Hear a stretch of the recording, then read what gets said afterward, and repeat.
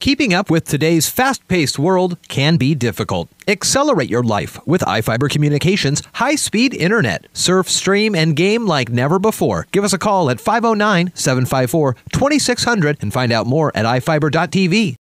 The city of Moses Lake is now enforcing its ordinance banning camping in all city parks. Notices were given to 16 homeless individuals camping in parks on December 21st, with a date to vacate the parks of December 26th.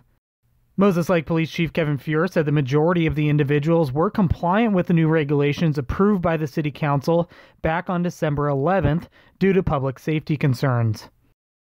A total of six individuals remained in the parks on December 26th and have since moved elsewhere.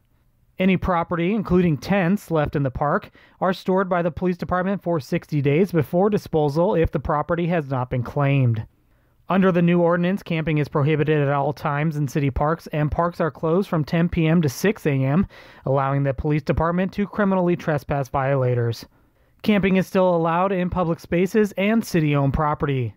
Portable surveillance cameras remain up at Civic Center Park behind the police department and on the north end of the Alder Fill.